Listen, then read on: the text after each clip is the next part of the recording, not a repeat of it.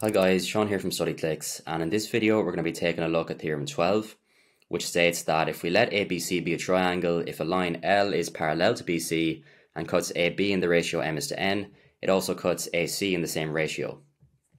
So as you can see on the left hand side of the triangle here, uh, we have two lengths, uh, 4 from B to the line where the line L cuts AB and then from that point up to A is the length 6.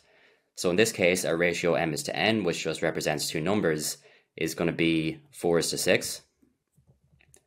But we always want to represent ratios with 1 on the left-hand side, and that's kind of just convention. So we're going to divide both sides of this ratio by 4, which is entirely possible and, and allowed because a ratio is just a relationship between two numbers, uh, not unlike a fraction dividing on top and bottom. So we're just going to divide across here by 4, and we're going to be left with the ratio 1 is to 1.5.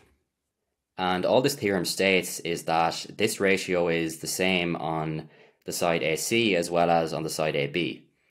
So we know that the length from C to where L cuts AC is 5, and therefore to find the last remaining length here on the right hand side, we're just going to represent it as a ratio of 5 is to 1.5 times 5 because this is how we uh, multiply in ratios. So 1.5 times 5 means our ratio on the right hand side, which is going to be the same as 1 is to 1.5 is 5 is to 7.5.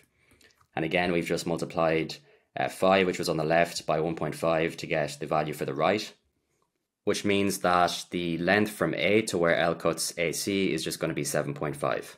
And the last thing to keep in mind here is this is only going to be true where L is parallel to BC.